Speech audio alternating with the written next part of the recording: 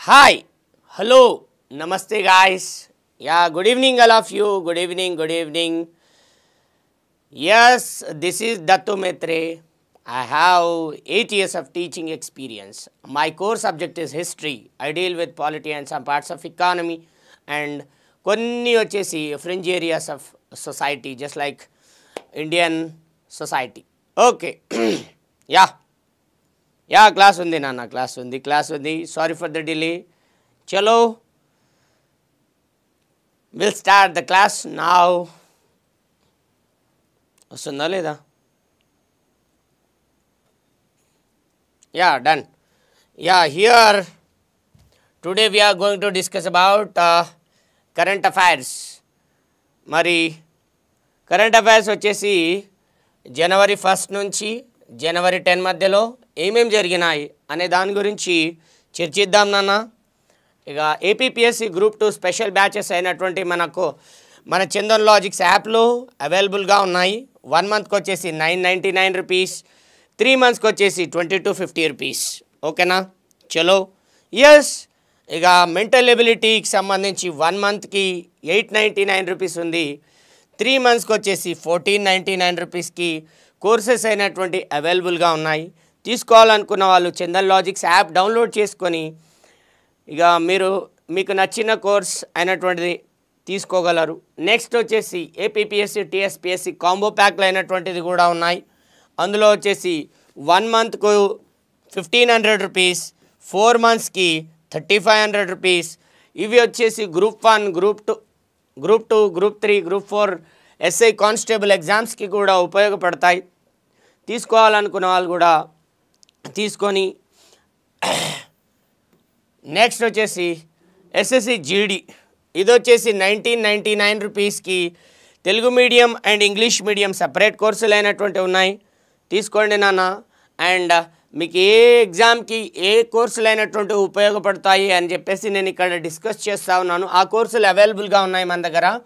SBI క్లర్క్కి సంబంధించి four months డ్యూరేషన్తో ట్వంటీ సెవెన్ హండ్రెడ్ రూపీస్కి ఇక English medium and Telugu medium separate కోర్సులు అయినటువంటి ఉన్నాయి. యా ఇప్పుడు వచ్చేసి కరెంట్ అఫైర్స్. కరెంట్ అఫైర్స్కి సంబంధించి మనకు థర్టీ మార్క్స్ అయినటువంటి ఏపీపీఎస్సి గ్రూప్ టూ స్క్రీనింగ్ టెస్ట్లో ఉంది కాబట్టి నేను ఇంపార్టెంట్గా economic current affairs political current affair అదే polity current affairs historical current affairs and next వచ్చేసి ఎన్వైర్మెంటల్ ఇష్యూస్ జాగ్రఫికల్ ఇష్యూస్ అన్నీ కూడా నేను ఇక్కడ డిస్కస్ చేస్తానన్నా ఓకేనా? చలో చూద్దాం. ఇక జయంతి బురుడా. అసలు ఈ పేరు విన్నారా?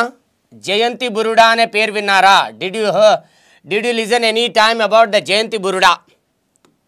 Jayanti Buruda అనేది అమ్మాయి పేరు నాన్న. Jayanti Buruda is a girl name Jayanti Buruda అనే అమ్మాయి she is a Koya tribe ఆమె she belongs to Koya tribe Koya అనే తెగకి చెందినటువంటి అమ్మాయి. ఈమె ఒడిషాకి చెందినవారు. ఈమె ఏ ప్రాంతానికి చెందినవారు నాన్న? ఒడిషా ప్రాంతానికి చెందినటువంటి వారు. ట్రైబల్ కమ్యూనిటీ నుంచి ట్రైబల్ కమ్యూనిటీ నుంచి మొట్టమొదటిసారిగా ఒక రిపోర్టర్ అయినటువంటి వ్యక్తి ఈమెనే. ఒక రిపోర్టర్ అయినటువంటి వ్యక్తి బురుడా. జయంతి బురుడా. ఇగో yes Jayanti Buruda. Hails from a small village called as Serpali in Orissa, Odisha. She is the first female journalist from the district and her tribe Koya. Koya tribe నుంచి మొట్టమొదటి journalist ఎవరు అనంటే జయంతి Buruda. Koya tribe నుంచి మొట్టమొదటి journalist ఎవరు అనంటే జయంతి బురుడా. ఓకేనా నాన్న S S S S S S PVTGs మన ఇండియాలో వచ్చేసి పీవీటీజీస్ అయినటువంటిది. పర్టికులర్లీ వల్నరబుల్ ట్రైబల్ గ్రూప్ అయినటువంటిది మొత్తం డెబ్బై ఐదు ఉన్నాయి. మొత్తంగా వచ్చేసి మన ఇండియాలో ట్రైబల్ కమ్యూనిటీస్ అయినటువంటి మొత్తంగా ఏడు వందల ఐదు ట్రైబల్ కమ్యూనిటీస్ అయినటువంటి గుర్తించబడ్డాయి. ఓకేనా? సరే దాని గురించి పక్కకు పెట్టండి. కోయా ట్రైబ్ ఉంది కదా. కోయా ట్రైబ్ అయినటువంటి దాంట్లో మొట్టమొదటిసారిగా జర్నలిస్ట్ అయినటువంటి వారు జయంతి బురుడా. ఈమె వచ్చేసి దేంట్లో కళింగా టీవీ రిపోర్టర్గా ఫస్ట్ చేరడం జరిగింది. ఏ టీవీ రిపోర్టర్గా చేరారు నాన్న? కళింగా టీవీ. కళింగ టీవీ రిపోర్టర్గా ఆమె కెరీర్ అయినటువంటిది రెండు వేల పదిహేనులో స్టార్ట్ చేయడం జరిగింది. ఇక ఆ తర్వాత వచ్చేసి ఆమె కొన్ని న్యూస్ కవరేజ్ల వల్ల అన్హ్యాపీగా ఉండడం వల్ల రెండు వేల పద్దెనిమిదిలో రెండు వేల పద్దెనిమిదిలో ఆమె గర్ల్స్ ఎడ్యుకేషన్ కోసం అంటే బాలికల విద్య కోసం అండ్ రిప్రొడక్టివ్ హెల్త్ అంటే బేబీకి బర్త్ ఇచ్చిన తర్వాత ఉమెన్ హెల్త్ అనేది చాలా వరకు కష్ట అంటే మాల్న్యూట్రిషన్ అనేది అయ్యే ఛాన్సెస్ ఉన్నాయి. అండ్ మోర్ ఓవర్ పోషక పదార్థాలు కూడా కావాలి. మరి పోషక పదార్థాలు ఉంటే హెల్త్ అనేది బాగుండదు. Reproductive health would not be good when they are not getting proper food. ఓకేనా? Even they face the malnutrition problems. Malnutrition problem అయినటువంటిది కూడా ఫేస్ చేస్తారా లేదా? అలాంటి రిప్రొడక్టివ్ హెల్త్ కోసం ఆమె రెండు వేల పద్దెనిమిదిలో సపరేట్గా న్యూస్ కవరేజ్ అయినటువంటిది స్టార్ట్ చేయడం జరుగుతుంది. దాని పేరు ఏంటంటే బాదా దీదీ యూనియన్. బాదా దీదీ యూనియన్ అని పిలువబడేటువంటి ఒక యూనియన్ని స్టార్ట్ చేయడం జరుగుతుంది. ఓకేనా? ఆ తర్వాత వచ్చేసి ఇక ఆమె సపరేట్గా రెండు వేల ఇరవై రెండులో ఆమె సపరేట్గా రెండు వేల ఇరవై రెండులో jungle Rani jungle Rani a social media news platform అయినటువంటి దాన్ని యాభై మంది ట్రైబల్ ఉమెన్తో ప్రారంభించింది. ఇంకోసారి రిపీట్ చేస్తున్నాను చూడండి నాన్న.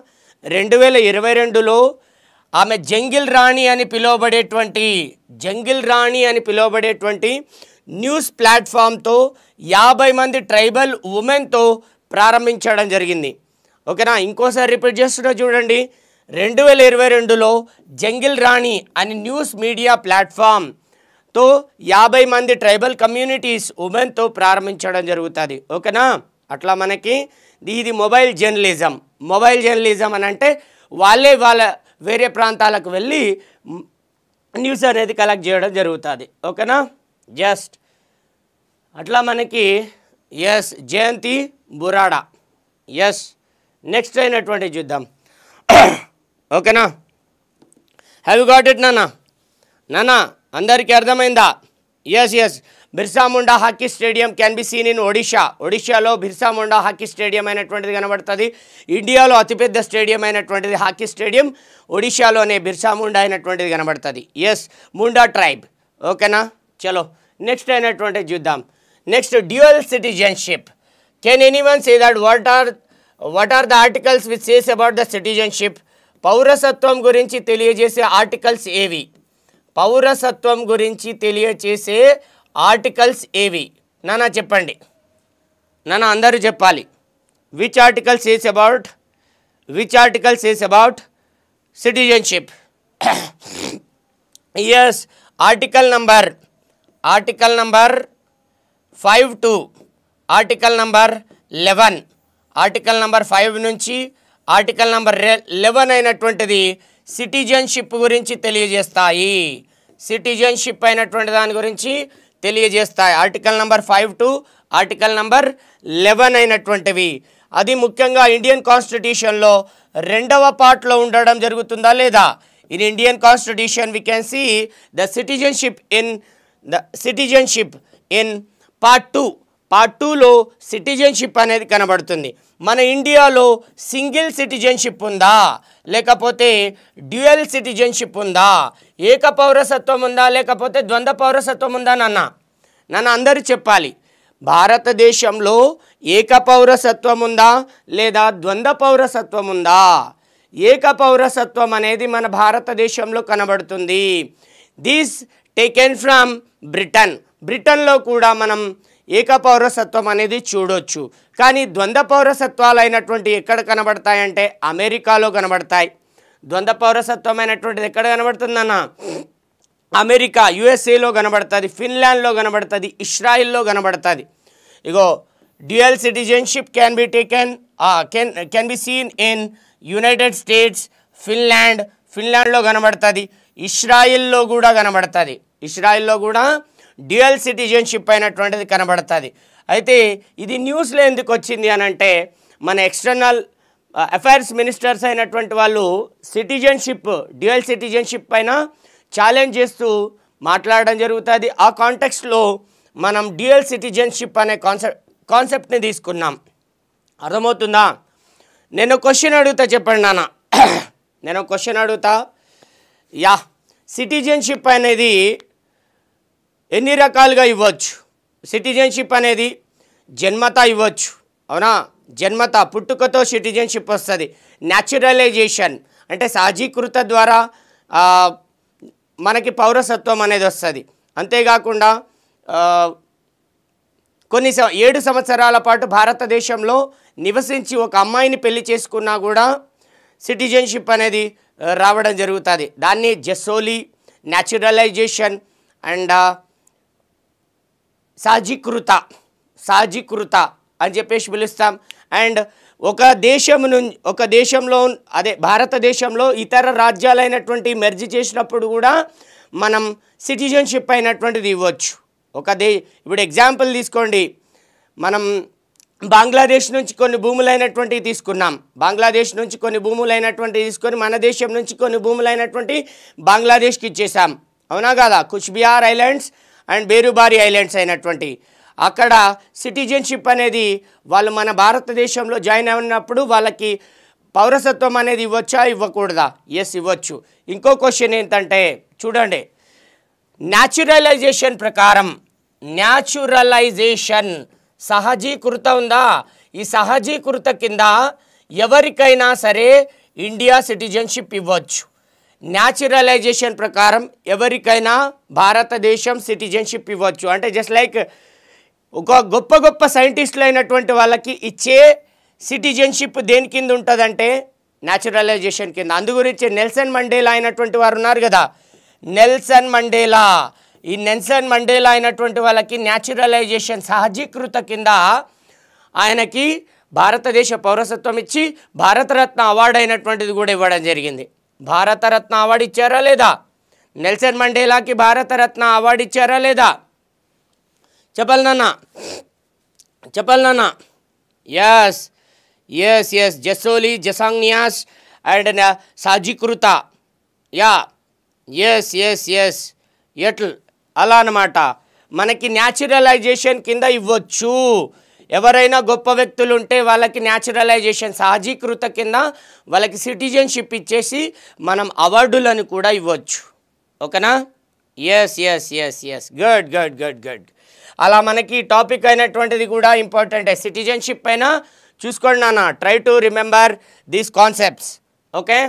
ఇక మనందరికీ మీ అందరికీ తెలుసు ఇక overseas citizen of India. Overseas citizen of India. ఇదొక విధంగా విధంగా చెప్పాలనంటే ఎన్ఆర్ఐస్ అయినటువంటి వాళ్ళకి అదే నాన్ రెసిడెంట్ ఇండియన్ అయినటువంటి వాళ్ళకి ఒరాసిస్ సిటిజన్ ఆఫ్ ఇండియా నూతన చట్టం అయినటువంటిది కూడా ఇటీవల తీసుకొచ్చింది ఇండియన్ గవర్నమెంట్ అయినటువంటిది. ఓకేనా? చలో నెక్స్ట్ అయినటువంటి చూద్దాం నాన్న. ఇక హంటింగ్టన్స్ డిస్ డిసీజ్. ఎప్పుడైనా విన్నారా? హంటింగ్టన్స్ డిసీజ్ అని విన్నారా? Did you hear any time about the Huntington disease did you hear about Huntington disease Huntington disease అని విన్నారా? నానా. నానా నానా చెప్పాలి. దయచేసి అందరూ రిప్లై ఇవ్వడానికి విన ప్రయత్నించండి. హంటింగ్టన్ డిసీజ్ అని అంటే ఇది ఒక this is a disease which is related to the brain. ఇది వచ్చేసి మెదడుకు సంబంధించినది. హంటింగ్టన్ డిసీజ్ అయినటువంటిది ఇది మెదడుకు సంబంధించింది. రీసెంట్గా ఈ హంటింగ్టన్ డిసీజ్ గురించి సైంటిస్టులు అయినటువంటి వారు మాట్లాడతారు. ఓకేనా? Scientist were discuss about the Huntington disease. ఈ హంటింగ్టన్ డిసీజ్ అయినటువంటిది ఎట్లా వస్తుంది అని అంటే హెరిడేషన్ ద్వారా రావచ్చు. అంటే వంశపారంపర్యంగా రావచ్చు. ఇది పూర్తిగా దేనికి సంబంధించింది అంటే మెదడుకు సంబంధించినది. Yes this is totally related to the brain hi good evening all of you అందరికీ గుడ్ ఈవినింగ్ నాన్న ఓకేనా? చలో ఇక్కడ చూడండి. అబౌట్ దీస్ హంటింగ్టన్ డిసీజ్ ఇక హంటింగ్టన్ డిసీజ్ అయినటువంటిది ఇక పేరెంట్ నుంచి మనకు కూడా రావచ్చు. అలా త తల్లిదండ్రుల నుంచి మనకు వచ్చే అవకాశం ఉంది. హెరిడేటరీ అంటారు దాన్ని వంశపారంపర్యంగా వచ్చే అవకాశం అనేది ఉంటుంది నాన్న అర్థమవుతుందా? ఇది ముఖ్యంగా దేనిపైన ఇంపాక్ట్ చేస్తుంది అని అంటే ఇగో నర్వ్ సెల్స్ పైన ఇంపాక్ట్ అయినటువంటి చూపిస్తుంది నర్వ్ సెల్స్ ఉంటాయి కదా ఈ నర్వ్ సెల్స్ పైన ఇంపాక్ట్ చూపించి బ్రెయిన్ అనేది గ్రాడ్యువల్గా బ్రేక్ డౌన్ అయిపోయి చనిపోయే అవకాశం ఉంది.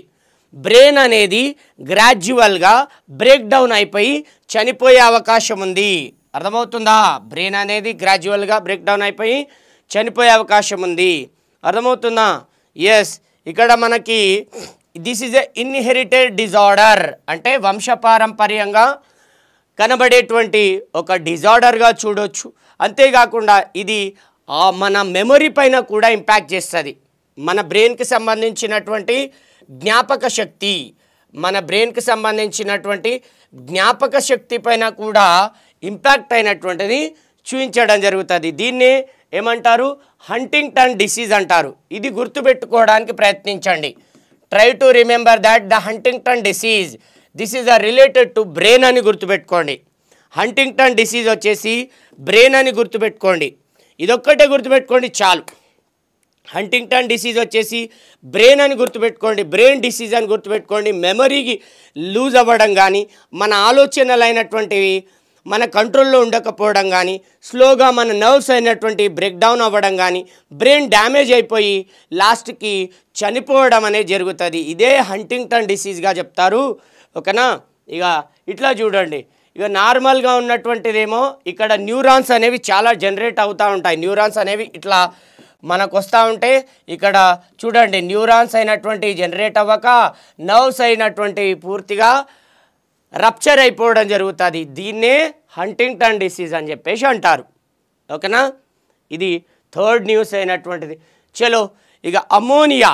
ఈ అమోనియా అనే కాన్సెప్ట్ నేను ఎందుకు తీసుకొచ్చాను? న్యూస్లో ఎందుకు వచ్చింది అనేది చూద్దాం ఇప్పుడు. అమోనియా అనే కాన్సెప్ట్ న్యూస్లో ఎందుకు వచ్చింది ఓకేనా? అమోనియా అనే కాన్సెప్ట్ ఎందుకు వచ్చింది అంటే ఇక్కడ చూడండి. ఇగో ammonia gas leak from under water supply pipeline to an industrial unit in Chennai చెన్నైలో ఏమైందంటే ఇక పారిశ్రామిక పైపుల నుంచి అమోనియా అనేది బయటికి రిలీజ్ అవ్వడం జరుగుతుంది. మరి అమోనియా బయటికి రిలీజ్ అవ్వడం వల్ల చాలా వరకు హజార్డస్ సిచ్యువేషన్స్ అయినటివి ఫేస్ చేయాల్సి వస్తుంది. అంటే రెస్పిరేటరీ సిస్టమ్ రెస్పిరేటరీ సిస్టమ్ అంటే శ్వాస వ్యవస్థకి ప్రాబ్లం కలగొచ్చు. అంతేకాకుండా ఇక మన బాడీలో కొన్ని చేంజెస్ అయినటువంటివి రావచ్చు. అంతేకాకుండా వాటర్ సాయిల్ అండ్ ఎయిర్ దీంట్లో కూడా కొన్ని పొల్యూట్ అనేది అయ్యే ఛాన్సెస్ ఉంటాయి. ఓకేనా? అమోనియా అనేది రిలీజ్ అవ్వడం జరిగింది అనేది గుర్తుపెట్టుకోని అవసరం లేదు. కానీ అమోనియాకు సంబంధించినటువంటివి మీరు గుర్తుపెట్టుకోవాలి. అమోనియాకు సంబంధించిన క్యారెక్టరిస్టిక్స్ అయినటువంటివి గుర్తుపెట్టుకోండి. ఇక్కడ చూడండి. అమోనియాకు సంబంధించిన characters అయినటువంటిది. Yeah this is ammonia. అవునా? ఒక నైట్రోజన్కి మూడు హైడ్రోజన్ బాండ్స్ ఉన్నాయా లేవా? ఒక నైట్రోజన్కి ఎన్ని మూడా? ఎన్ని బాండ్స్ ఉన్నాయి నాన్న? ఎన్హెచ్? ఎన్హెచ్ త్రీనా ఎస్ ఎన్హెచ్ త్రీ కదా ఫార్ములా. ఎన్హెచ్ త్రీ ఫార్ములా మూడు హైడ్రోజన్ బాండ్స్ అయినటువంటి ఉంటాయి. మూడు హైడ్రోజన్ బాండ్స్ అయినటువంటి ఉంటాయి. అంటే మీరు ఏం గుర్తుపెట్టుకుంటారు? Ammonia ammonia contained with hydrogen and nitrogen. అమోనియాలో ముఖ్యంగా మనకి ఏం కనబడతాయంటే హైడ్రోజన్ పరమాణువులు నైట్రోజన్ పరమాణువులైనటువంటి కనబడతాయి. ఓకేనా? హైడ్రోజన్ పరమాణువులు నైట్రోజన్ పరమాణువులు కనబడతాయి. దీన్ని ఏమంటారంటే అమోనియం హైడ్రాక్సైడ్ అంటారు. దీనిని ఏమంటారు నాన్న? అమోనియం హైడ్రాక్సైడ్ అంటారు. ఈ పేరు గుర్తుపెట్టుకోండి నాన్న. నానా ఈ పేరు అయినటువంటిది గుర్తుపెట్టుకోండి. అమోనియం హైడ్రాక్సైడ్ అని చెప్పేసేసి పిలుస్తాం. అర్థమవుతుందా నాన్న చలో ఇక దీనివల్ల అమోనియా వల్ల మనకు కలిగేటువంటి నష్టాలు ఏంటిది అనేది ఇప్పుడు చూద్దాం. ఇక్కడ చూడండి అమోనియా ఎక్స్పోజ్ అయితే ఏమవుతుందంటే ఇక వామిటింగ్ జరిగే ఛాన్సెస్ ఉన్నాయి. అండ్ అబ్డామినల్ పెయిన్ అయినటువంటి కడుపులో నొప్పి కానీ కడు అంతేకాకుండా మౌత్ మౌత్ బర్న్ అవ్వడం. అంటే నోట్లో మంటలు కానీ త్రోట్లో మంటలు కానీ అండ్ స్టమక్లో మంటలు కానీ ఇట్లా అమోనియా మనం తీసుకోవడం వల్ల ఇక హజార్డస్ సిచ్యువేషన్స్ అయినటువంటి ఫేస్ చేస్తాము అని గుర్తుపెట్టుకోండి. ఓకేనా?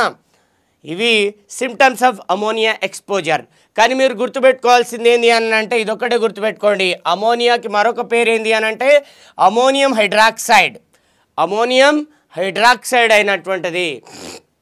ఓకేనా? This is the third news చలో నెక్స్ట్ అయినటువంటి చూద్దాం. యా స్లిమ్ స్పేస్ క్రాఫ్ట్ ఇది విన్నారా? స్లిమ్ స్పేస్ క్రాఫ్ట్ అనే దాని గురించి I think you might have heard about the the SLIM spacecraft నాన్న విన్నారా?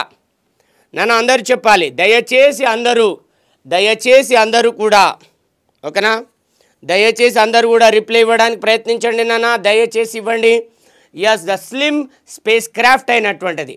ఎస్ ఇక స్లి స్లిమ్ స్పేస్ క్రాఫ్ట్ అంటే మన దగ్గర చంద్రయాన్ వన్ జరిగింది చంద్రయాన్ టూ జరిగింది చంద్రయాన్ త్రీ జరిగింది. ఫైనల్గా మనం చంద్రయాన్ త్రీ ద్వారా మూన్ పైన సాఫ్ట్ ల్యాండింగ్ అనేది చేశాం. అవునా కాదా? We done the soft landing by the Chandrayaan three అవునా? మన చంద్రయాన్ త్రీ ద్వారా మన ఆశ అయినటువంటి చంద్రుని పైన చేరుకోవాలనే ఆశ చివరికి నెరవేరింది. రెండు వేల ఇరవై మూడులో. కానీ వరల్డ్ కప్ మాత్రం రెండు వేల ఇరవై మూడులో దక్కించుకోలేకపోయినాం. అందరూ అనుకున్నారు అవునా కాదా? రెండు వేల పంతొమ్మిదిలో మనం చంద్రయాన్ టూ అయినటువంటిది విఫలం అవ్వడం జరుగుతుంది. రెండు వేల ఇరవై మూడులోనన్నా సక్సెస్ అవుతుందని అనుకున్నాం. ఫైనల్గా వచ్చేసి సక్సెస్ అయినాం. అవునా? రెండు వేల రెండు వేల ఇరవై మూడునే కదా? Yes yes done Chandrayaan three వచ్చేసి రెండు వేల ఇరవై మూడు. అవునా? చలో రెండు వేల ఇరవై మూడులో సక్సెస్ అయినాం కానీ వరల్డ్ కప్ మాత్రం గెలవలేదు. ఇక్కడ కూడా అంతే. జపాన్ అయినటువంటిది కూడా చంద్రుని పైన ల్యాండ్ అవ్వాలని చూస్తూ ఉంది. ఇప్పటివరకు చంద్రుడి పైన ల్యాండ్ అయినటువంటి నాలుగే దేశాలు. ఒకటవది వచ్చేసి రష్యా రెండవది వచ్చేసి అమెరికా మూడవది వచ్చేసి చైనా నాలుగవది వచ్చేసి ఇండియా. ఒకటవది వచ్చేసి ఒకటవది వచ్చేసి ఏది నాన్న? రష్యా అమెరికా చైనా అండ్ నాలుగవది వచ్చేసి నాలుగవది ఇండియా. అయితే కొంతమంది ఇప్పటికీ కూడా డౌట్ ఉంది. నిజంగా నిజంగా అమెరికా అయినటువంటిది చంద్రుని పైన ఒక వ్యామోగామిని పంపిందా లేదా? అంటే మీరు అందరు అంటారు కదా yes the first astronaut who landed on the moon land moon పైన ల్యాండ్ చేసినటువంటి మొట్టమొదటి వ్యక్తి హీ వాజ్ ఫ్రమ్ అమెరికా అని చెప్పేసి అంటున్నామా లేదా? అయితే కొంతమంది మీరు ఇఫ్ పాసిబుల్ కుదిరితే ఈ మూవీ చూడండి. Nine emotions nine emotions nine emotions అనే ఒక మూవీ ఉంటుంది. అంటే మూవీ కాదు అది it's a web series. Web series ఉంటుంది. ఆ వెబ్ సిరీస్లో థర్డ్ పార్ట్ అయినటువంటిది. థర్డ్ పార్ట్ ఒక అద్భుత అనే అద్భుత. అద్భుత అని పిలువబడేటువంటి ఒక సిరీస్ ఉంటుంది. దాంట్లో నిజంగా అమెరికా వాళ్ళు ల్యాండ్ అయినారా లేదా అనేది చెప్తారనమాట నిజంగా అది ల్యాండ్ అయితే ఇప్పటికీ కూడా అమెరికా మళ్ళీ మళ్ళీ ఎందుకు ప్రయత్నిస్తూ ఉంది మూన్ పైన చేరుకోవడానికి? ఇప్పటికీ కూడా అమెరికా అయినటువంటిది మళ్ళీ మూన్ పైన చేరుకోవడానికి ఎందుకు ప్రయత్నిస్తూ ఉంది? అవునా కాదా? ఒకసారి లాజిక్ ఆలోచించండి. చలో వదిలేయండి ఇక. సరే ఇప్పుడైతే జపాన్ ట్రై చేస్తూ ఉంది. అదే మూన్ పైన సాఫ్ట్ ల్యాండింగ్ కోసం. అదొచ్చేసి జనవరి పంతొమ్మిది రెండు వేల ఇరవై నాలుగున లూనార్ సర్ఫేస్ అంటే చంద్రుని ఉప ఉపరితలం పైన చేరుకోవడానికి ప్రయత్నిస్తూ ఉంది. చంద్రుని ఉప ఉపరితలం పైన చేరుకోవడానికి ప్రయత్నిస్తూ ఉంది. చూడండి ఇప్పటివరకు రష్యా చేరుకుంది మూన్ పైకి యునైటెడ్ స్టేట్స్ ఆఫ్ అమెరికా చేరుకుంది నాసా నెక్స్ట్ చైనా చేరుకుంది మూన్ పైన మన ఇండియా కూడా ఆ లిస్ట్లోకి వెళ్ళింది. Four nations only successfully achieved the soft landing ఓకేనా? సాఫ్ట్ ల్యాండింగ్ అనేది చేయడం జరిగింది. ఇక ముఖ్యంగా వచ్చేసి ఇందులో వచ్చేసి మా మనకి ఇండియాకి ఇండియా మరియు ఇంకా ఏది? జపాన్ కలిసి చంద్రయాన్ ఫోర్ అయినటువంటిది చేస్తున్నారు. చంద్రయాన్ ఫోర్ అయినటువంటిది ఎవరెవరు కలిసి చేస్తున్నారు నాన్న? చంద్రయాన్ ఫోర్ అయినటువంటిది ఇక it is a joint effort of the ISRO and JAXA ఓకేనా ISRO and JAXA జప్ Japan space centre name JAXA ఓకేనా ఇస్రో అయినటువంటిది మరియు జపాన్ కలిపి చంద్రయాన్ ఫోర్ అయినటువంటిది చేయడం జరుగుతుంది. మీరు గుర్తుపెట్టుకోవాల్సింది ఏంటి అని అంటే జస్ట్ ఇది గుర్తుపెట్టుకోండి. SLIM spacecraft belongs to SLIM spacecraft అంటే ఏంటిది? Smart lander for investigating moon. Smart lander for investigating moon అంటే స్లిమ్.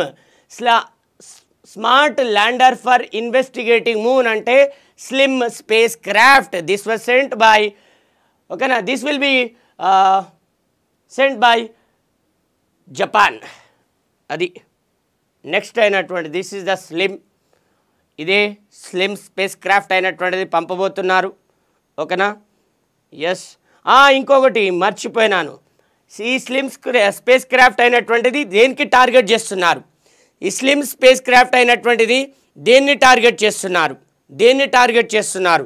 దేన్ని అని అంటే they are targeting with in the meters of the chosen area site Shioli. ఓకేనా? Shioli crater. షియోలి crater అనే ప్లేస్ని target చేస్తున్నారు.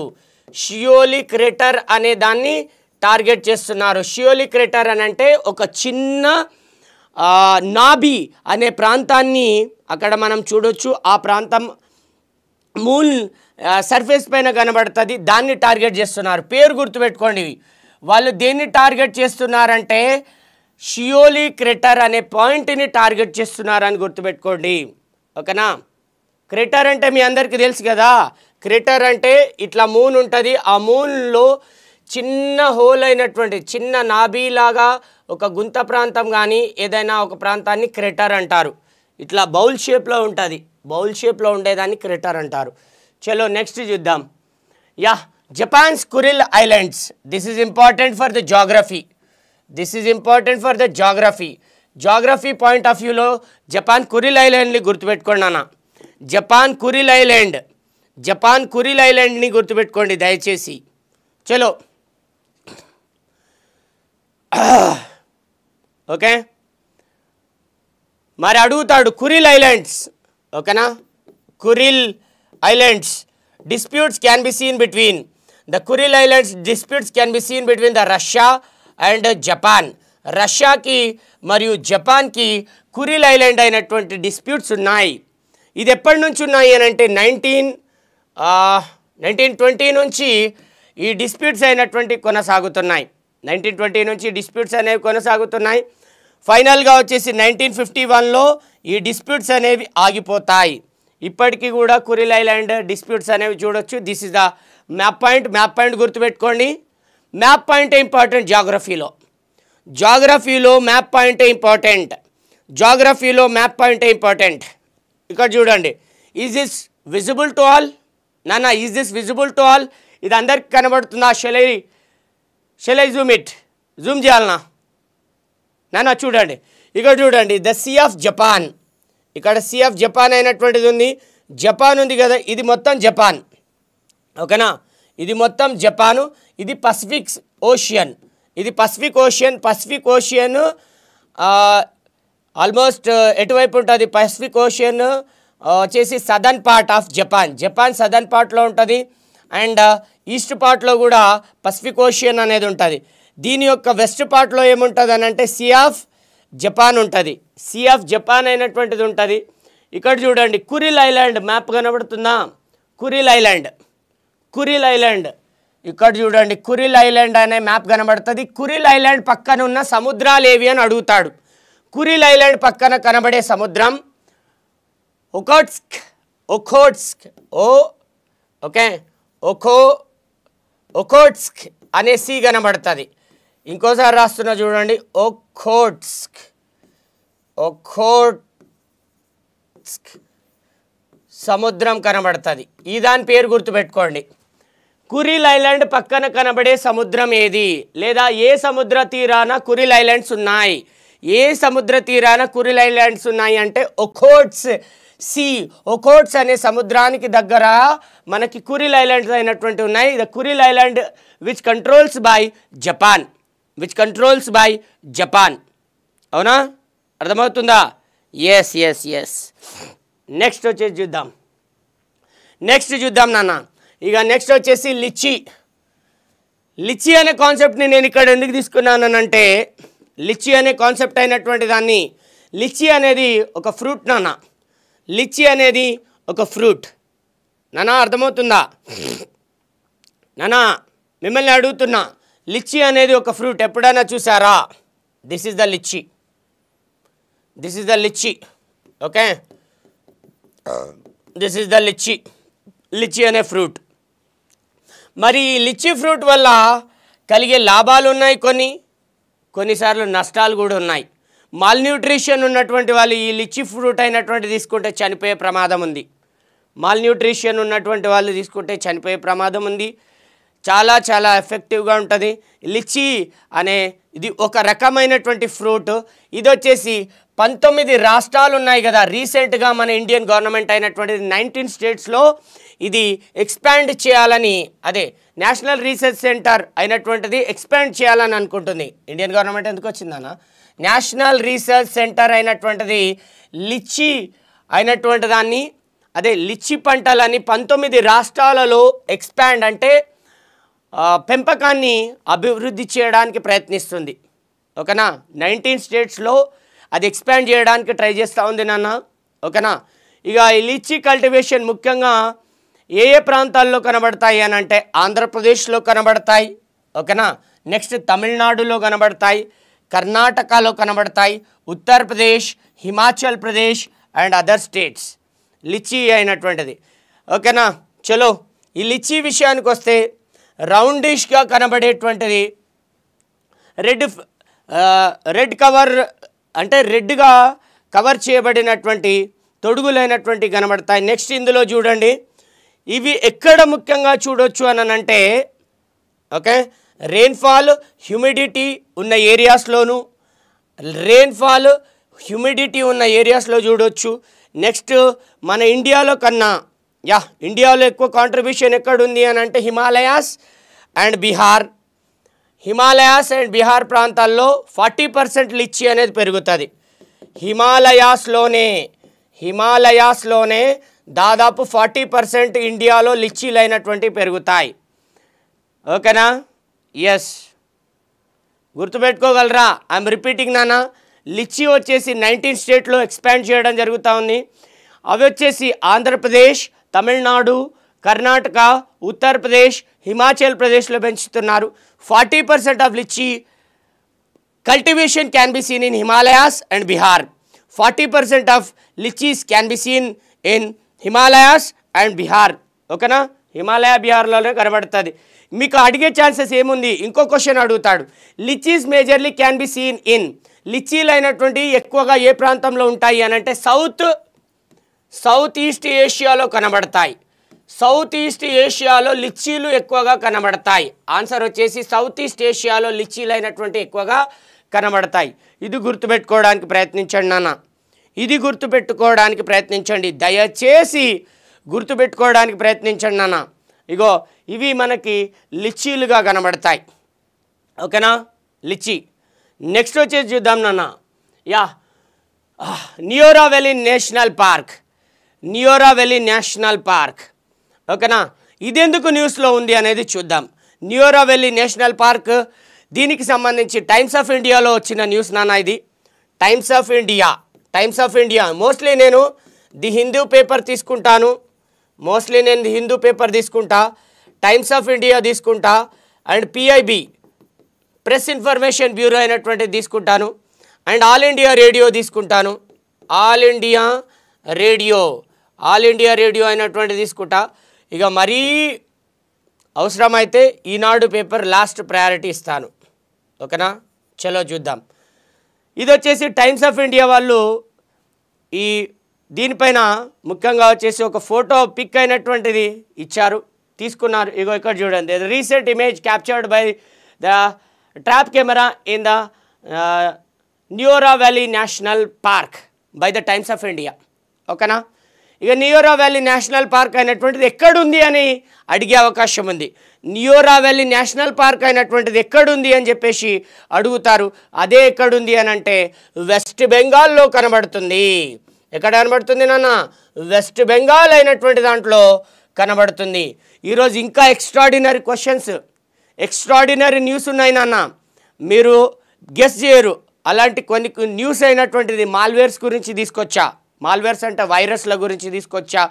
And environment science and technology తీసుకొచ్చాను. Environment తీసుకొచ్చాను. ఉమెన్ స్త్రీల యొక్క గొప్పదనాలను గురించి మాట్లాడేటువంటి ఉమెన్కి సంబంధించినటువంటి ఫస్ట్ ఉమెన్ ఇష్యూస్ అయినటువంటివి కూడా తీసుకొచ్చిన. కొంచెం జాగ్రత్తగా గమనించండి.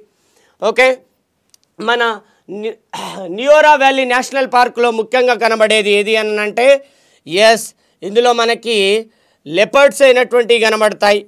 లెపర్డ్స్ అయినటువంటివి కనబడతాయి. And red pandas red pandas red pandas are ఓకేనా? Important animal in Neora valley national park. Red పండాలైనటువంటి ఇందులో ఎక్కువగా కనబడతాయి. Next royal Bengal tigers. ఇందులో royal Bengal tigers least number of తక్కువ సంఖ్యలో కూడా రాయల్ బెంగాల్ టైగర్స్ అయినటువంటి కనబడతాయి. రాయల్ బెంగాల్ టైగర్స్ అయినటువంటి కనబడతాయి. Here you can see the ఇక్కడ కనబడుతుందా చూడండి. ఇది సిక్కిం నాన్న. ఇగో ఇది మొత్తం సిక్కిం ఏరియా. ఈ సిక్కిం కింద మనకి ఏముంటుంది వెస్ట్ బెంగాల్ అయినటువంటిది ఉంటుంది. ఈ వెస్ట్ బెంగాల్లో ఇక్కడ మనకి న్యూరా వ్యాలీ నేషనల్ పార్క్ అయినటువంటిది కనబడుతుంది చూడండి. ఇక్కడ మనకి భూటాన్ కనబడుతుంది.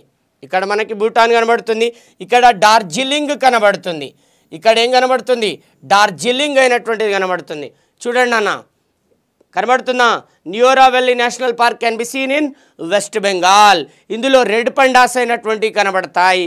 ఓకేనా? తక్కువ సంఖ్యలో వచ్చేసి రాయల్ బెంగాల్ టైగర్స్ అయినటువంటివి కూడా కనబడతాయి. నెక్స్ట్ చూద్దాం. ఇక Chinnar wild life sanctuary. Chinnar wild life sanctuary. ఇది న్యూస్లో ఎందుకు వచ్చింది? Why in news. ఇది న్యూస్లో ఎందుకు వచ్చింది? Why in news. అయితే ఈ Chinnar national Chinnar wild life శాంక్చురీలో ఇక యురేషియన్ అట్టర్ అయినటువంటిది కనబడింది.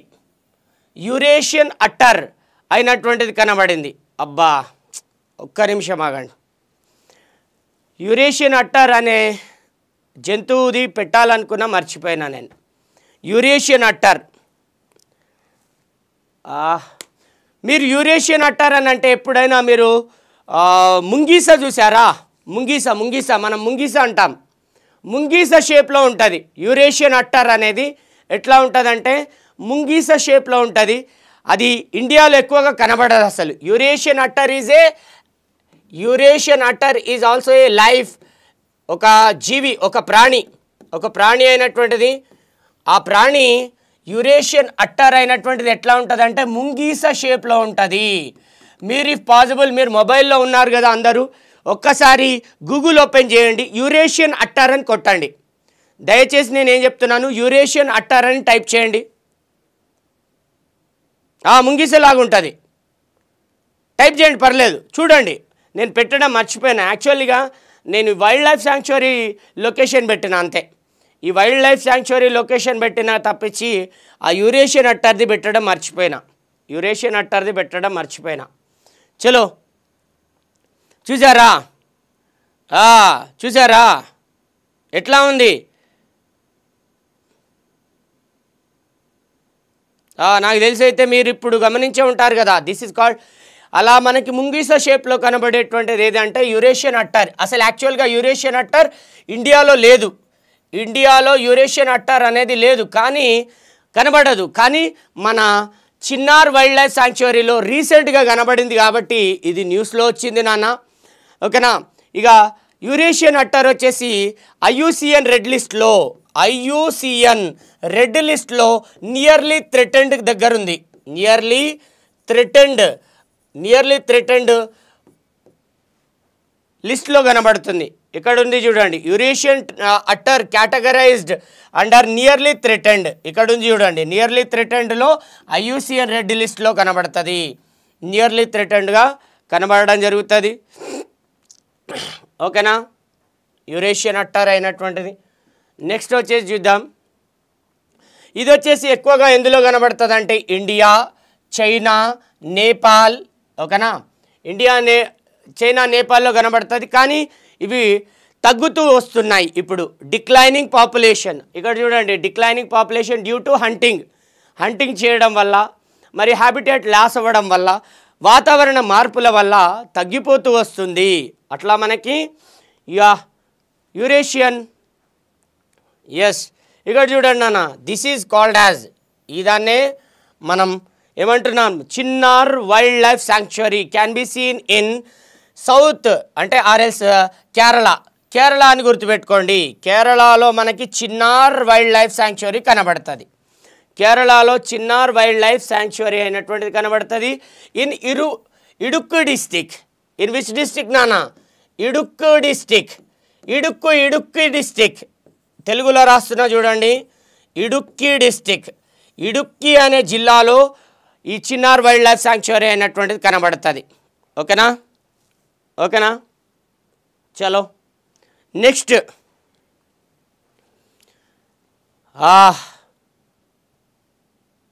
okay? ఎస్ ఇప్పుడు చూద్దాం. Yeah. Chameleon Trojan. Chameleon Trojan. ఈ పేరు ఎప్పుడన్నా విన్నారా? నాన్న విన్నారా?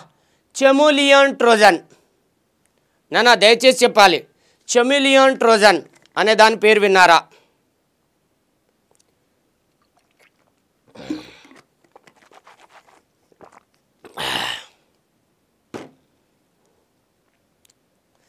ఆల్మోస్ట్ అన్ని యూపీఎస్సీ పర్సెప్షన్లోనే తీసుకొచ్చిన. ఇవే ఇలాంటి క్వశ్చన్సే వస్తాయని నేను నేను కూడా గెస్ట్ చేస్తున్నా. ఓకే చలో. Chameleon trojan. Chameleon Trojan. ఇగో ఇది. ఇది Chameleon Trojan. Chameleon Trojan it is a malware alert. ఇదొక malware అయినటువంటిది. It is a malware. ఇదొక మాల్వేర్ అయినటువంటిది చెమిలియోన్ ట్రోజర్ అయినటువంటిది. ఓకేనా? ఈ చెమిలియోన్ ట్రోజర్ అయినటువంటిది ఇది ఒక రకమైన వైరస్ అంటాం. ఇది మొబైల్లోకి పంపించడం జరుగుతుంది. అలా మొబైల్లోకి పంపిస్తే ఏమవుతుందంటే మీరు పాస్వర్డ్ వేస్ పాస్వర్డ్ ఆ వైరస్ వస్తే ఆ పాస్వర్డ్ పెట్టినా పాస్వర్డ్ పనిచేయదు మీరు కొంతమంది ఏం పెడతారు? ఫేస్ ఫేస్ లాక్ పెడతారు. ఫేస్ లాక్ పెడితే ఫేస్ లాక్ పనిచేయదు ఐస్ కొంతమంది ఐస్ లాక్ అనేది పెడతారు. ఐస్ లాక్ పెడితే ఐస్ లాక్ పనిచేయదు. అలాంటిది ఇది చెమిలియోన్ ట్రోజన్. ఓకేనా? చెమిలియోన్ ట్రోజన్ అని పిలువబడేటువంటి ఇది ఒక malware. It is a malware has been discovered by ఓకేనా? Security research okay? ఎస్ ఇది వచ్చేసి చూడండి. ఇక్కడ ఇప్పుడే చెప్పిన. ఇక fingerprint and face unlock steal phones pin ఓకేనా? అంటే ఫింగర్ ప్రింట్ ఫేస్ లాక్ అయినటువంటి వాటిని పెట్టి మీరు ఉంచుతారు కదా. అలా పెట్టినా కూడా దీని ద్వారా మీ ఇన్ఫర్మేషన్ వాళ్ళు స్టీల్ చేయొచ్చు. అంటే మీ ఇన్ఫర్మేషన్ వాళ్ళు దొంగతనం చేయొచ్చు అని చెప్పేదే ఇది చెమిలియోన్ ట్రోజన్ అని పిలువబడేటువంటి ఒక మాల్వేర్ పేరు. డైరెక్ట్ అడుగుతాడు చెమిలియన్ ట్రోజర్ ఇజే అని అడుగుతాడు. దాన్ని ఏమంటారు? మాల్వేర్ అంటారు. అంతకన్నా ముందు ఒకటి వచ్చింది డీప్ ఫేక్ డీప్ ఫేక్ అని పిలువబడేటువంటిది. అనగానేమి అని అడుగుతారు? అంతకన్నా ముందు ఇంకోటి కూడా వచ్చింది. వైరస్లు చాలా ఉంటాయి నాన్న. మాల్వేర్స్ పేర్లు అయినటువంటి చాలా ఉంటాయి. జాగ్రత్తగా గుర్తుపెట్టుకోండి. ఇది వచ్చేసి ఆండ్రాయిడ్ ఫోన్స్లో గూగుల్ క్రోమ్ నుంచి మన దగ్గరికి వచ్చే అవకాశం ఉంది. ఆండ్రాయిడ్ ఫోన్స్లో గూగుల్ క్రోమ్ని ఎక్కువగా యూజ్ చేసే వాళ్ళకి ఇది డిటెక్ట్ అయ్యే ఛాన్సెస్ ఉంది. గూగుల్ క్రోమ్ని అందు గురించి ఎక్కువగా యూజ్ చేయకూడదు అంటారు. దాని బదులు మీరు దేన్ని యూజ్ చేయాలి? ఏమన్నా యూజ్ చేసుకోండి. నాకేం తెలిసి. ఓకే రైట్ పేరైతే గుర్తుపెట్టుకోండి. ఓకే చెమిలియోన్ ట్రోజన్ నెక్స్ట్ వచ్చేసి ఇక దివ్యకళా మేళ. దివ్యకళా మేళ. ఇగో this is the Divya Kala Mela. It is a ఇది ఎట్లా ఉంటుందని అంటే దివ్యాంగులు ఉంటారు కదా. దివ్యాంగులు అంటే ఫిజికల్లీ ఛాలెంజ్డ్ పర్సన్స్ అయినటువంటి వాళ్ళు.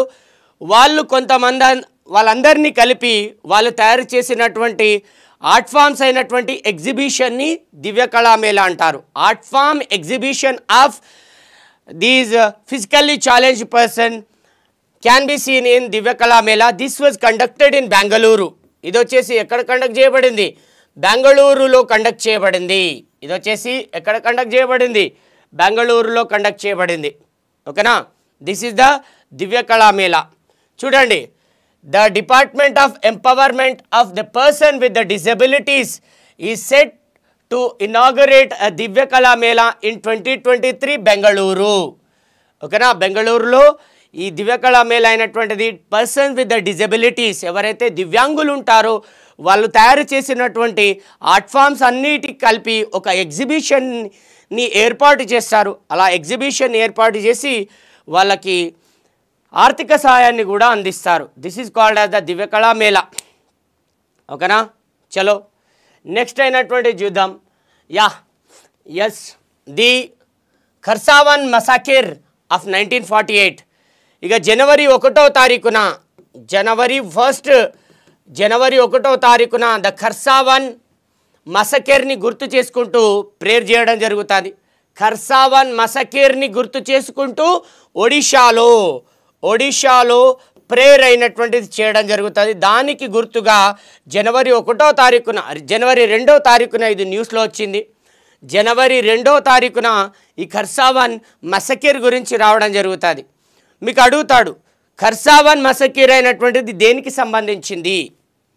ఖర్సావన్ మసకీర్ అయినటువంటిది దేనికి సంబంధించినది?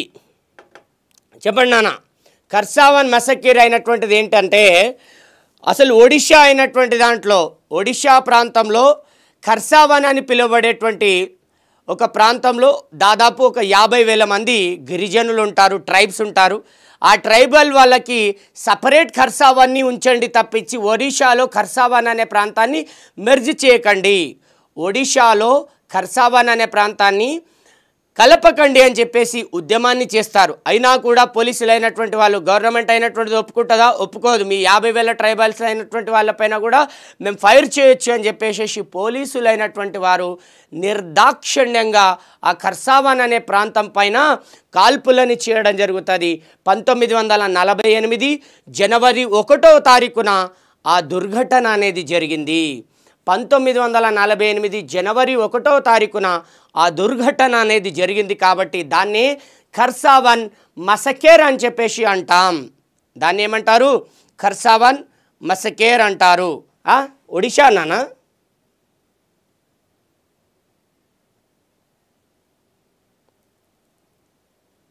Yeah sorry sorry.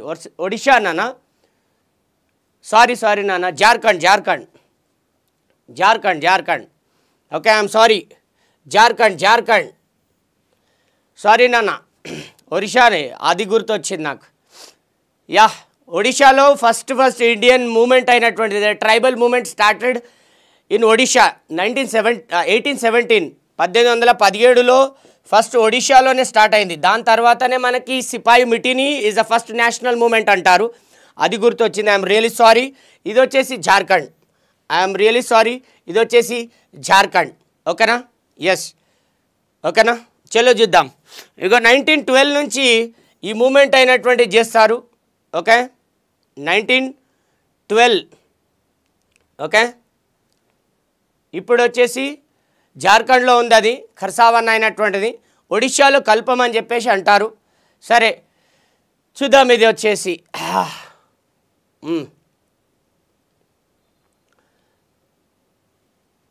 ఇదైతే గుర్తుపెట్టుకోండి నాన్న Kharsawan massacre Kharsawan massacre అయినటువంటిది it is a tribal movement it is a tribal movement which was done from nineteen twelve to పంతొమ్మిది వందల పన్నెండు నుంచి పంతొమ్మిది వందల నలభై ఎనిమిది వరకు జరుగుతుంది. అది ఇప్పుడు ప్రజెంట్ ఎక్కడుంది? జార్ఖండ్లో ఉంది. కానీ వాళ్ళందరూ ఎక్కడ మెర్జ్ చేయాలన్నారు ఒడిశాలో మెర్జ్ చేయాలన్నారు ఓకేనా? చలో చూద్దాం. నెక్స్ట్ చూద్దాం. Yeah this is the Kharsawan massacre of nineteen forty eight January forty January first nineteen forty eight. January first nineteen forty eight. Okay? అర్థమవుతుందా నాన్న? Yes yes yes yes yes yes yes yeah ఈ ఇప్పుడు జార్ఖండ్లో కనబడుతుంది అది. Next చూద్దాం నాన్న. Yeah Surya Namaskar. Surya Namaskar అనే కాన్సెప్ట్ అయినటువంటిది నేను ఎందుకు తీసుకున్నానంటే దాదాపు యాభై వేల మందితో కలిపి దాదాపు యాభై వేల మంది అవునా ఫిఫ్టీ థౌజండ్ మెంబర్స్ అందరూ కలిసి సూర్య ఒకేసారి సూర్య నమస్కారం అనేది చేసి గిన్నిస్ బుక్ రికార్డ్ అనేది సంపాదించారు. గిన్నీస్ బుక్ రికార్డ్ అనేటువంటిది గిన్నిస్ బుక్ రికార్డ్ అయినటువంటిది సంపాదించారు. ఎక్కడ?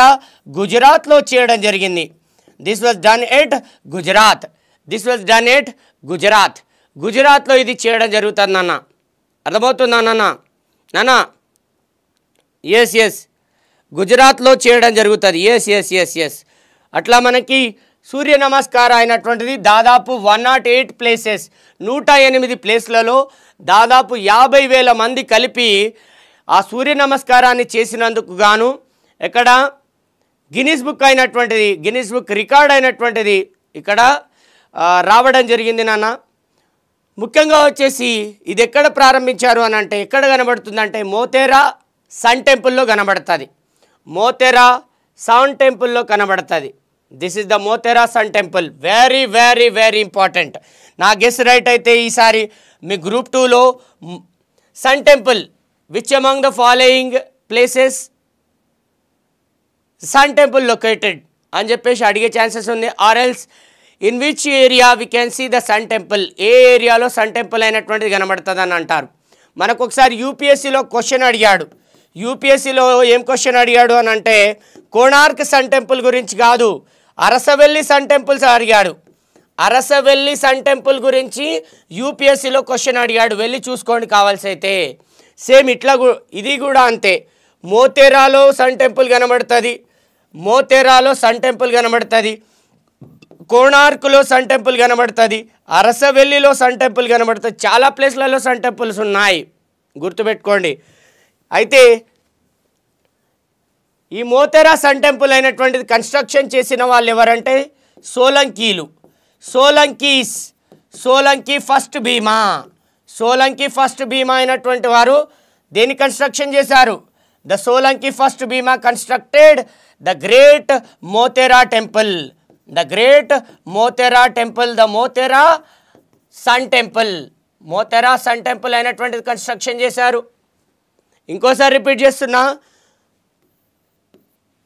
Modhera sun temple constructed by the Solanki dynasty Solanki dynasty this was constructed in Solanki style ఇది వచ్చేసి సోలంకి శైలిలో కన్స్ట్రక్షన్ చేయబడింది. సోలంకి స్టైల్లో కన్స్ట్రక్షన్ చేయబడింది. అర్థమవుతుందా? సోలంకి స్టైల్లో కన్స్ట్రక్షన్ చేయబడింది. ఓకేనా? నెక్స్ట్ ఇంకో క్వశ్చన్ అడుగుతాడు. ఏమడుగుతాడు అనంటే అని అంటే సోలంకి శైలి అనేది యునెస్కో హెరిటేజ్ సైటా కాదా?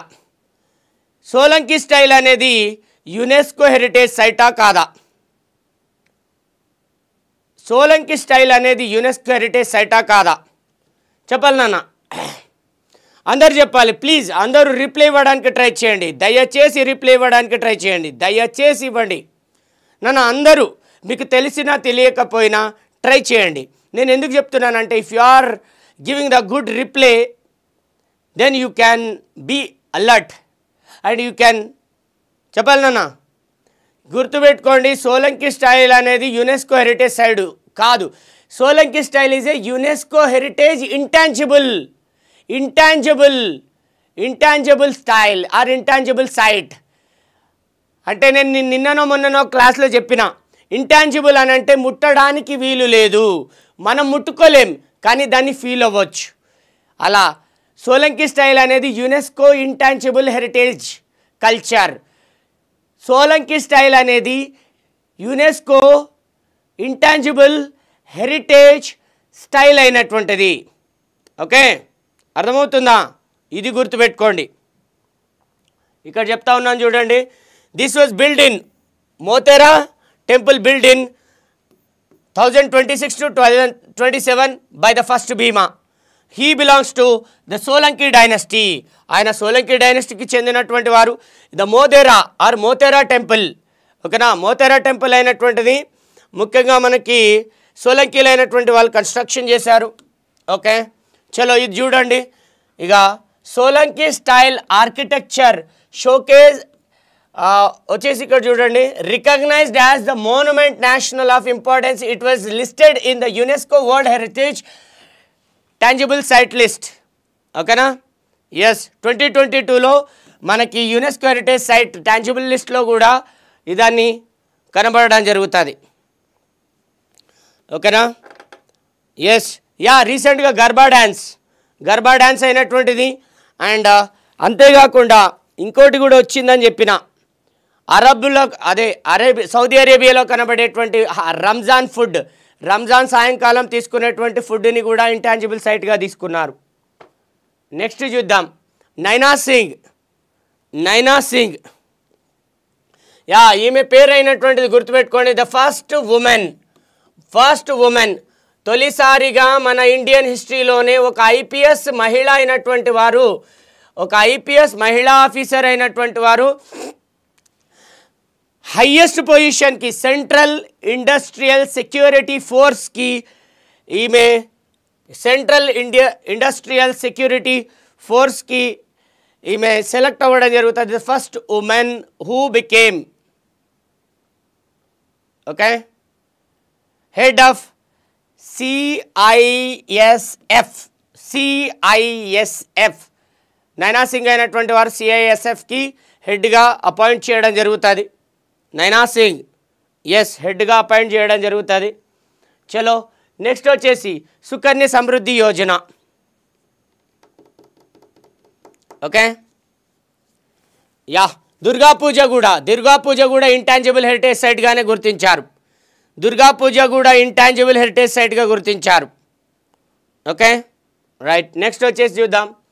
ఇక సుకన్య సమృద్ధి యోజన స్కీమ్ అయినటువంటిది. ఇది సుకన్య సమృద్ధి యోజన స్కీమ్. ఇప్పుడు ఎలక్షన్స్ వస్తున్నాయి కదా. జనవరి తర్వా జనవరి నుంచి ఏం చేశారనంటే సుకన్య సమృద్ధి యోజన స్కీమ్ కింద ఒకప్పుడు ఎయిట్ పర్సెంట్ ఇంట్రెస్ట్ వచ్చేది. అమ్మాయి అమ్మాయికి అదే అదే పెళ్ళిడికి వచ్చినటువంటి అదే పుట్టిన అమ్మాయికి కొంచెం డబ్బులు అనేది ఇస్తారా లేదా సుకన్య సమృద్ధి యోజన కింద? అవునా కాదా? అది పోస్ట్ ఆఫీస్లో వేస్తారు. మినిమం వచ్చేసి రెండు వందల యాభై రూపాయలు వేయాలి. మ్యాక్సిమం వచ్చేసి లక్ష యాభై వేల రూపాయలకి లక్ష యాభై వేల రూపాయల వరకు ఒక సంవత్సరంలో వేయవచ్చు.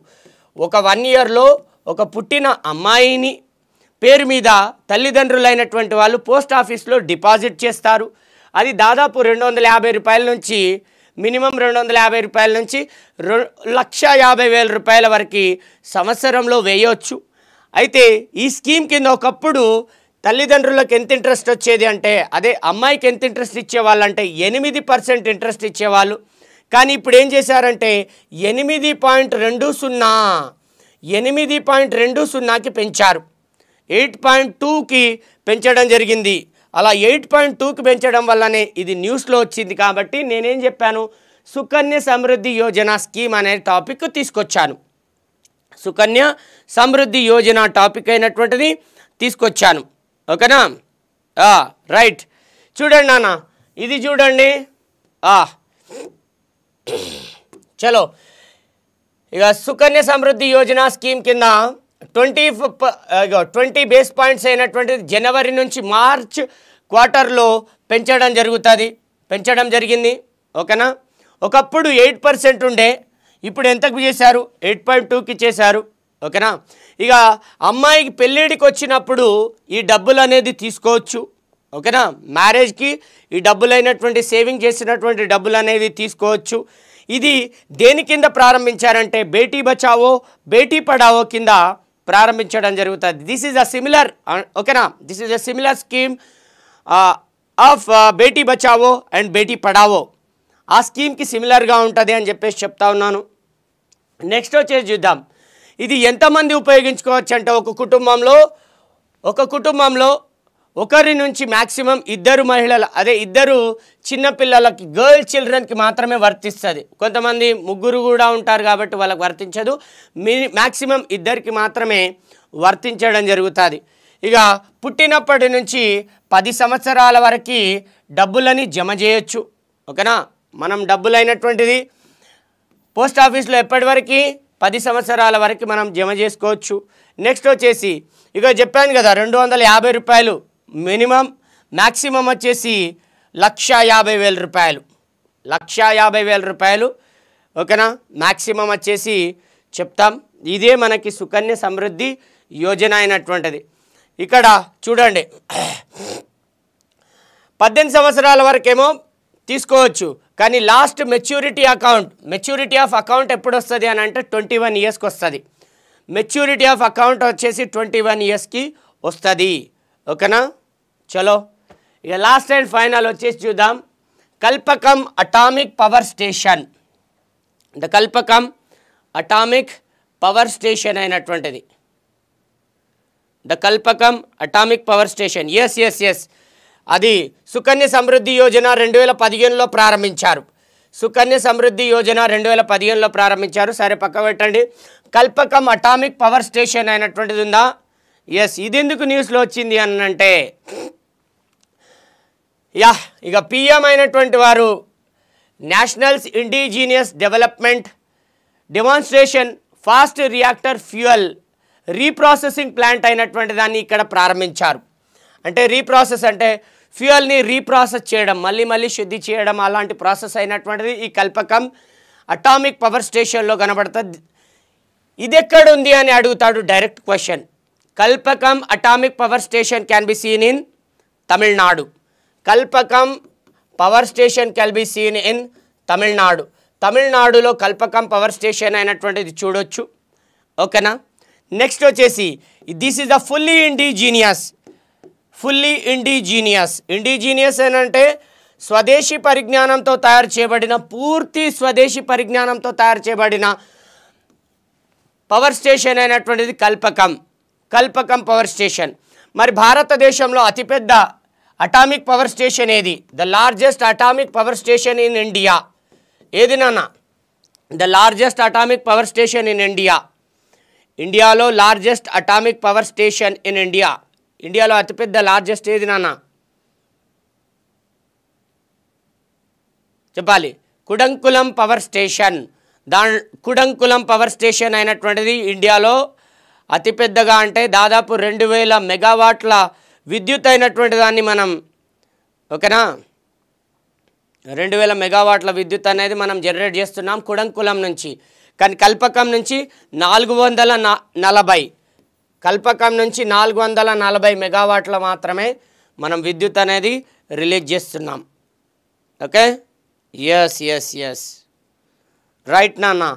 ఇట్లా ఇది మనం చూసేటువంటి వ్యవహారం. These all are the atomic power stations ఇవన్నీ అటామిక్ పవర్ స్టేషన్ చూడండి. This is the Kalpakkam. ఇది వచ్చేసి కైగా అటామిక్ పవర్ స్టేషన్ ఇది తారాపూర్ ఇండియాలో సెకండ్ లార్జెస్ట్ ఏది అని అంటే తారాపూర్ ఇప్పుడు ఇది మహారాష్ట్రలో ఉంటుంది.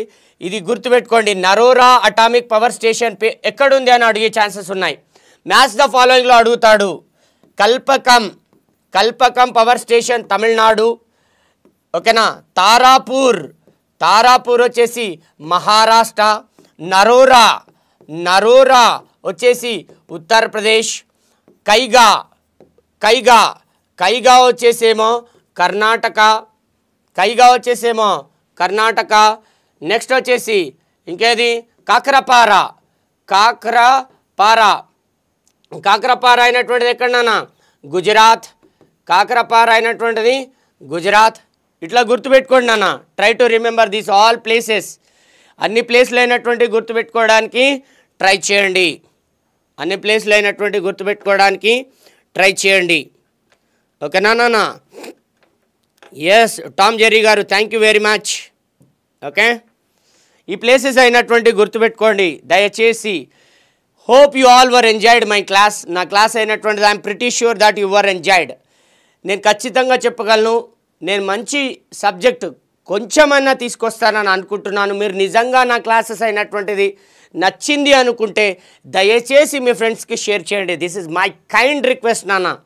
నేను హిస్టరీ చెప్తా ఉన్నాను సొసైటీ చెప్తా ఉన్నాను అండ్ జాగ్రఫీ క్లాసెస్ అయినటువంటివి చెప్తా ఉన్నాను కరెంట్ అఫైర్స్ క్లాసెస్ అయినటువంటి కూడా చెప్తా ఉన్నాను. నా క్లాసెస్ అయినటువంటి మీకు నిజంగా నచ్చినట్లు అనిపిస్తే మాత్రమే దయచేసి మీ ఫ్రెండ్స్కి షేర్ చేయండి. Please recommend my classes to your friends this is Dattu Mhetre నా పేరు వచ్చేసి దత్తు మేత్రే నేను చాలా ఓకేనా? చాలా కష్టపడి కాన్సెప్ట్స్ అనేవి తీసుకొస్తాను కాబట్టి మీరు నిజంగా నన్ను అప్రిషియేషన్ చేయాలనుకుంటే నాకేమి కమెంట్స్ రూపంలో చెప్పనవసరం లేదు. దయచేసి నాకు తెలిసిన జ్ఞానాన్ని మీకు పంచుతా ఉన్నాను. మీకు తెలిసిన జ్ఞానాన్ని మీ ఫ్రెండ్స్కి పంచండి.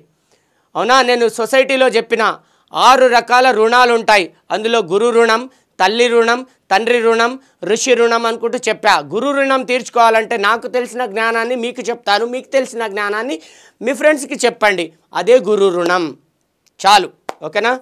రైట్ నాన్న ఇక now I'm winding up the total session yeah APPSC group two combo ప్యాక్లు అయినటువంటివి ఉన్నాయి.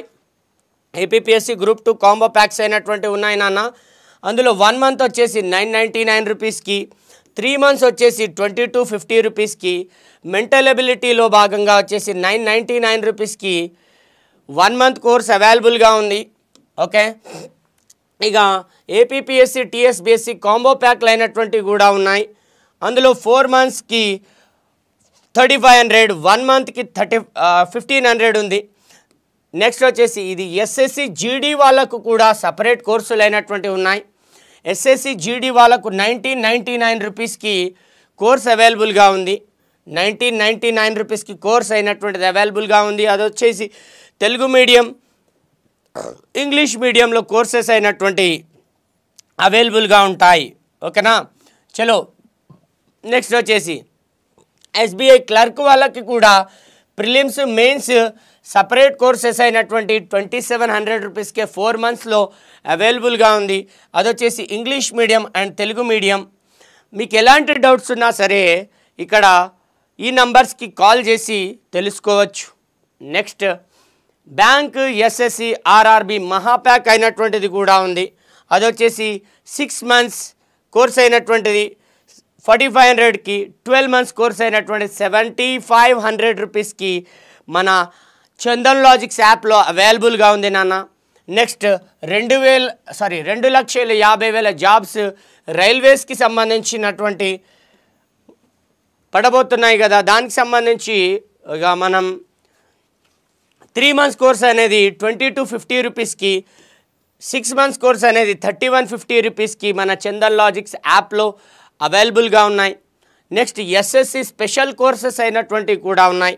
అందులో వచ్చేసి సిక్స్ మంత్స్కి వచ్చేసి థర్టీ సిక్స్ హండ్రెడ్ రూపీస్ ఉంది. నెక్స్ట్ ఇక బ్యాంక్ మహాప్యాక్ అయినటువంటిది కూడా ఉంది. ఇది వచ్చేసి ప్రిలిమ్స్ మెయిన్స్ ఉంది. దీంట్లో వచ్చేసి ఇక సిక్స్ మంత్స్కి థర్టీ సిక్స్ హండ్రెడ్ రూపీస్ ఉంది. ఇది కూడా బైలింగ్వల్లో కనబడుతుంది. ఇంగ్లీష్ మరియు తెలుగులో కూడా ఉంటుంది. Next zero to hero batch అయినటువంటిది కూడా ఉంది. జీరో టు హీరో బ్యాచ్ అయినటువంటిది ఉంది.